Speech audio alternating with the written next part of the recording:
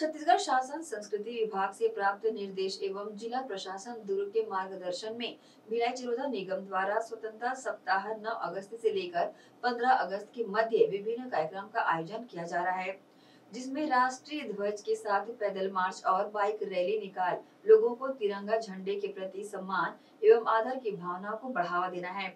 इसी के तहत भिलाई चिरोदा निगम कार्यालय से तिरंगा रैली निकाली गई, जिसका नेतृत्व दुर्ग लोकसभा क्षेत्र के सांसद विजय बघेल एवं अहिवारा विधायक राज महंत डोमन लाल कोरसेवाड़ा द्वारा किया गया। भारत माता की जय और वंदे मातरम के नारों से शहर को गुंजायमान करते हुए तिरंगा रैली निकाली गई, जिसमें निगम कमिश्नर डीएस राजपूत के साथ सभी अधिकारी एवं कर्मचारीगण शामिल रहे। निगम कार्यालय से अन्नपूर्णा भवन के रास्ते, बाज़ार वार्ड के जैन मंदिर के रास्ते से तिरंगा रैली मुख्य सड़क तक पहुँची। इसके बाद पुलिस थाना भिलाई तीन के सामने से होकर निगम कार्यालय गेट पर तिरंगा रैली का समापन किया गया।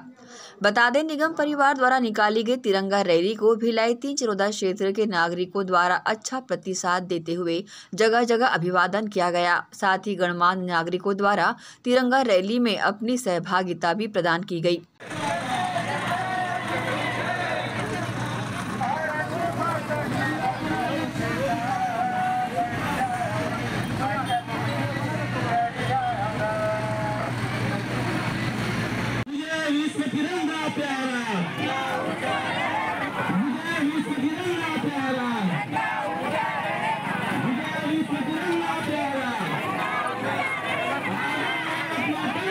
इस दौरान भिलाई चरोदा निगम के नेता प्रतिपक्ष श्री राम खिलावन वर्मा, सांसद प्रतिनिधि विपिन चंद्राकर, विधायक प्रतिनिधि दिलीप पटेल, वार्ड के पार्षद निगम के अधिकारी और कर्मचारियों के अलावा स्व सहायता समूह की महिलाओं सहित क्षेत्र के नागरिकों द्वारा तिरंगा रैली में शामिल होकर कार्यक्रम को सफल बनाया गया। एसीएन न्यूज़ के लिए शैलन खरे की रिपोर्ट।